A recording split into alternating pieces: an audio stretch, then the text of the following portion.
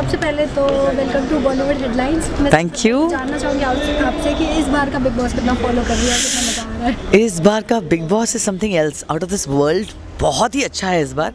Last year मैंने देखते देखते बीच में छोड़ दिया था बिकॉज़ शूट वूट आ गई थी बट दिस ईयर मतलब every year I watched it except for बारह I watched every year and तेरह इज़ लाइक लिटरली टेढ़ा इट्स अमेजिंग जी सबसे फेवरेट सदस्य की बात की जाए तो घर पे कौन सा ऐसा कंटेस्टेंट है जो आपके सबसे दिल के करीब है और इसका गेम आपको बहुत अच्छा लगता है? सिद्धार्थ शुक्ला। आई थिंक वो बहुत अच्छा काम कर रहे हैं। ही इज़ uh, वो बहुत शातिर दिमाग से खेल रहे हैं।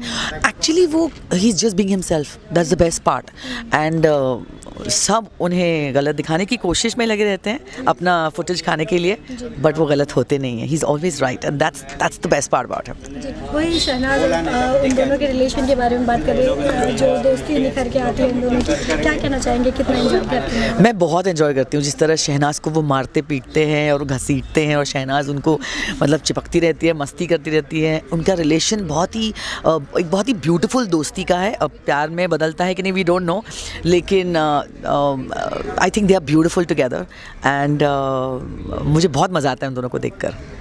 बहुत एनर्जी है दोनों में। साथ ही आपसे जानना चाहूँगी कि जिस तरीके से रश्मि और सिद्धार्थ के बीच इतना कुछ घर के अंदर हुआ है जो पर्सनल चीज़ें इतनी ज़्यादा बाहर आई हैं सब ऑडियंस को भी पता चल रहा है धीरे धीरे क्या कहना चाहेंगी ये सी मैं ऑनेस्टली ये कहना चाहूँगी कि रश्मि देसाई अ, कैसी हैं I don't know as a person ना ही मैं शुक्ला जी को जानती हूँ बट अगर आप दोनों को देख देखने जाओ तो शुक्ला उनके पीछे कभी नहीं पड़ते।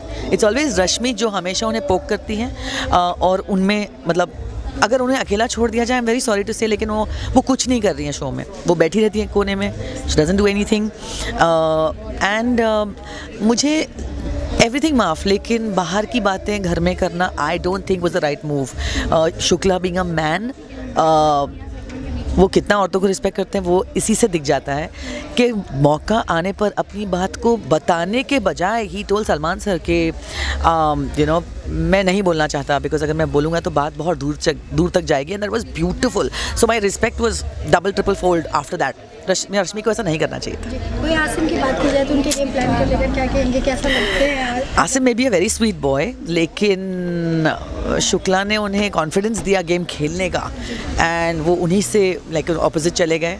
और वो जिस तरह जिस तरह वो बिहेव कर रहे हैं with with Shukla he is not coming out right he is not coming out clean वो बहुत ही नेगेटिव दिख दिख रहे हैं और वो ज़बरदस्ती पोक करके फुटेज और माइलेज खाने की कोशिश कर रहे हैं। दैट्स एविडेंट शुक्ला को इन सब चीज़ों की ज़रूरत ही नहीं है। He is already a star जी वही मधुरिमा और विशाल के बारे में बात करें तो बहुत ज़्यादा कन्फ्यूज़ दिख रहे हैं। आपको भी क्या कंफ्यूज लग रहे हैं? मुझे विशाल कन्फ्यूज़ दिखते हैं। मधुरिमा बहुत क्लियर है बट वो कुछ कर नहीं पा रही हैं। वो करती हैं झगड़ा थोड़ा बहुत बट झगड़ा is not the key word I don't think झगड़ा is the key word Bigg Boss में। I think standing up for the right stuff is the correct thing you know correct game plan आप ज़बरदस्ती किसी को पोक करके, मुझे आज मूड नहीं है खाना बनाने का या नाश्ता बनाने का। Not happening that's not the game अगर आप गेम समझें तो follow Shukla. He he has understood the game is playing it फैटैक और वही पारस अपने आप को बहुत तीस बार समझते हैं, घर के अंदर। आपको क्या तीस बार क्योंकि उनको ऐसा लग रहा है कि बहुत ज़्यादा यू नो इंटरेस्टिंग गेम खेल पारस अ, मेरी समझ में नहीं आया मैंने पहले भी कहा और ना ही दिल में आता है वो। सो पारस इज़ स्वीट लेकिन अ, अ, वो मायरा पर ही अपना टाइम वेस्ट कर रहे हैं।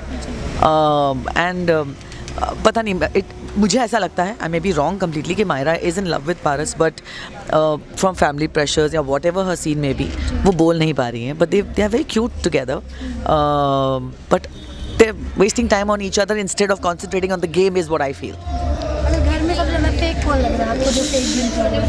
सबसे फेक फेक रश्मि देसाई। सबसे स्मार्ट सिद्धार्थ शुक्ला। सबसे क्यूट शहनाज। और अगर एक एक सजेशन अगर आप कंटेस्टेंट को देना चाहें तो आप क्या किसको देते हैं? जैसे कि आप रोज़ तो मैं शहनाज को कहूँगी कि क्यूटनेस एंड हॉटनेस को इंक्रीज करो। Lose some weight girl you are very pretty just lose some weight आप सच में पंजाब की कटरीना कैफ लगती हैं। she is very beautiful I love her she is very pretty Siddharth Shukla क्या बोलूँ उन्हें बोलने की कुछ ज़रूरत है you are the winner man and I think you rocking it and best of luck for Bigg Boss and every other project that you you know touch your hands on I think you are great उनके चलने का style मुझे बहुत पसंद है आसिम को कहूँगी please यार चिल्लम चिल्ली बंद करो it's not suiting you you come from you know Jammu Kashmir you know keep the tone down और uh, ज़बरदस्ती किसी को पोक मत करो. You are not looking good don't do it Rashmi Desai अपने बलबूते पर थोड़ी सी गेम खेल लो. दूसरों को कोने में बैठकर भड़काना और अपनी गेम प्लान करके किसी को और शुक्ला से तोड़वा कर अपने टीम में लाना is not Bigg Boss understand the game dude ji. You know जी वही और बताओ। वही अगर माहिरा की बात की जाए तो। Mahira very sad to say वो